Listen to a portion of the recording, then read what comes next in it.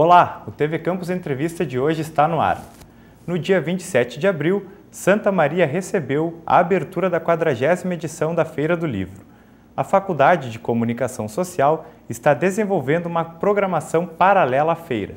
Para falar sobre essa programação, eu recebo a professora do curso de produção editorial aqui do FSM, Marília Barcelos. Olá, professora. Olá, Guilherme, tudo bem? Tudo bom. Professora, gostaria de saber qual é a programação da Facos durante a Feira do Livro. É, a Facos na feira, ela participa de uma programação paralela, como tu mesmo colocaste, mas é em torno da praça, de maneira que faz parte também é, da própria programação. Né? Qual o objetivo da, da Facos ao organizar essa programação paralela? É fazer parte, é levar para a comunidade um pouco do que a gente desenvolve aqui na Facos. A comunicação tem quatro cursos, né, que é a publicidade e propaganda, o jornalismo, RP, relações públicas e produção editorial. De maneira que as atividades são desenvolvidas dentro das disciplinas e contam também com a colaboração de alguns alunos da pós-graduação na feitura dessas atividades, na criação dessas atividades. É uma proposta de extensão para que se possa levar à comunidade também um pouco do que nós desenvolvemos aqui. Este é o objetivo e eu acredito que a gente tem conseguido alcançar. Professora, todas essas atividades elas são desenvolvidas para os comunicadores, para os alunos ou também para o público em geral que quiser acompanhar? Nós temos diferentes focos, digamos assim. O público-alvo é o transeunte da feira, que até onde eu sei é um número bastante significativo, é um dos eventos mais relevantes aqui de Santa Maria. Nós temos atividades para crianças, como a contação de histórias, uma oficina. Temos história de uma oficina de histórias em quadrinhos, também que já é um público bem variado, amplo, não requer pré-requisito.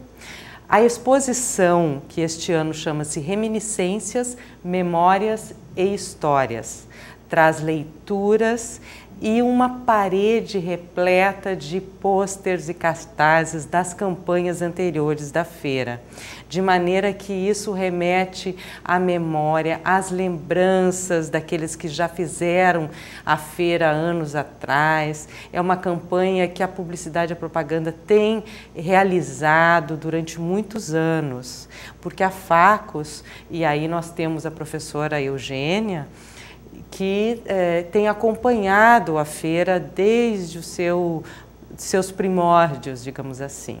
Né?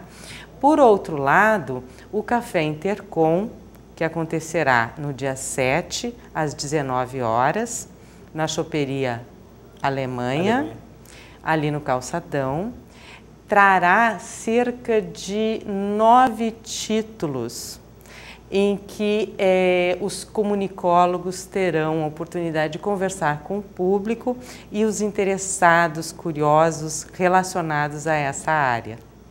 Professora, é, como que surgiu a ideia de realizar o Café Intercom e como que vai ser esse encontro? O Café Intercom, ele acontece em diferentes cidades ao longo do ano. E o Intercom, na verdade, é uma sociedade, uma associação que reúne os comunicólogos. E nada mais agradável do que fazer esses encontros ao longo do, do tempo, né, ao longo do ano, é, à medida que o, se aguarda o congresso. A, o congresso acontece regionalmente e depois nacionalmente. Né? Então, o Café Intercom, que é organizado pelo professor Flávio Lisboa, ele tem é, o objetivo de reunir, então, esses curiosos. E aí é, é que todo o desenvolvimento do conteúdo, né, o bate-papo, a oportunidade de conversar com os autores, com autores não só da editora Facos, mas também de outras editoras que são nossos, uh, nossos convidados e fazem parte também, digamos assim, da, da vertente pensante né, do, do departamento. Professora, tu citaste há pouco é a professora Eugênia Mariano da Rocha Barrichello, que é a patrona do evento e estará uhum. lançando, então, História da Feira do Livro de Santa Maria, Memórias e Registros. Ela estará lançando esse livro na próxima segunda-feira, no estande da Feira do Livro, dia, dia 6 de maio, que vai contar um pouquinho da história dela na Feira do Livro. Como a senhora disse, ela participou desde as primeiras edições, não é? Exato, é um resgate. Eu acho que a pesquisa que a professora Eugênia fez só deixa a gente cada vez mais curioso de conhecer esse evento tão bacana, né? E com relação é, aos livros do, do Café Intercom, serão sete livros, é isso? Que, que... Olha, eu não contei assim, tintim por tintim, não, porque é tanta produção. Olha, nós temos o Ecologia da Mídia, temos o Histórias da Mídia, temos esses de História da Feira, Rádios, um livro que fala sobre rádios e pesquisas da área. E, Podemos repassar esqueci, aqui, eu acho. Esqueci algum? É, temos o Rádios, Sociedade, Fronteiras e Educação, uhum. é, o Ecologia da Mídia, é, o História da Mídia, Campos da Publicidade e da Comunicação Institucional, Aprender Publicidade, Aproximações entre Academia e Mercado Santamarense, comunicação organizacional e cidadania, olhares sobre a presença das corporações e da comunidade na mídia, esses cinco que são da editora Facos, e mais dois é, de estudiosos da comunicação, que é o Loque McLuhan no Predijo e a Crença no Mérito e a Desigualdade. Esses, essas são as sete obras que estarão no Café Intercom, não é mesmo, professor? Exato, isso aí. Contamos com todo mundo lá, né?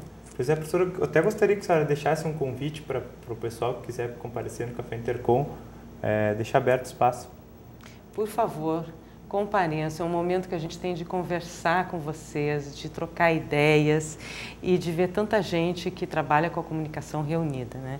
É, um, é um, um momento também que a gente tem é, um espaço dentro da feira uh, para a comunidade, para o público uh, interessado. A gente vai ter o maior prazer de encontrar vocês lá. Professora, de que maneira esses trabalhos que estão sendo desenvolvidos, que são desenvolvidos pela Facos e que muitos aqui é, pertencem à editora Facos, é, fazem essa transição é, do que a gente pode aprender na academia, aprende aqui durante as aulas na Faculdade de Comunicação Social e estão nessas obras? É importante tu salientares isso, Guilherme, porque eh, nós temos um tripé, que é extensão, pesquisa e ensino. Não importa a ordem, a gente tem que trabalhar nessas três vertentes. E, e a, a, obra, né, é, a obra da comunicação, ela reúne as pesquisas e os trabalhos, as investigações do, de grupos de estudo. Então, é, é importante que a gente tenha essa noção, né, de que ah, o conteúdo desses livros eles trazem eh, pesquisas eh, em grande maioria inovadoras, né, instigantes relacionadas à área. Com relação então à feira do livro, é, até ontem foram vendidos, vendidos 11.450 exemplares. Citarei aqui em ordem alfabética os cinco mais vendidos.